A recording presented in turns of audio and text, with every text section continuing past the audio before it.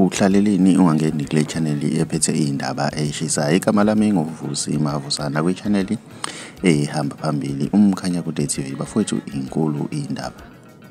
Angeke ukholwe-ke laphana okushiwo uSigwebo Sentambo evuma i-albhamu yeGcokama elisho ukuthi lishayile-ke laphana wengane zakwethu. Evuma nomntalapho laphana obheke ngakuyena laphana wengane zakwethu. Khumbula ukuthi limbize ngembuzi laphana wengane zakwethu lambiza ngomalume uDenis.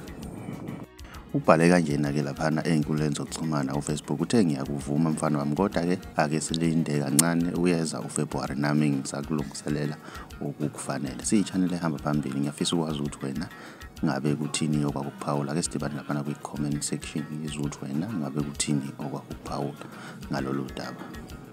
Uma umusha ngiyacela ucindezele subscribe ucindezele nebhele ukuze uzothola ama-notification njalo uma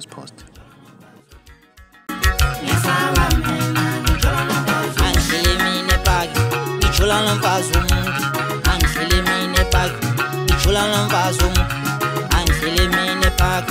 Icholana mfazi uye kwaqhuma isibhame epark. Icholana mfazi womuntu waqhuma isibhame epark. Icholana mfazi womuntu uye kwaqhuma isibhame epark. Icholana mfazi womuntu asengihlele kabuhlungu.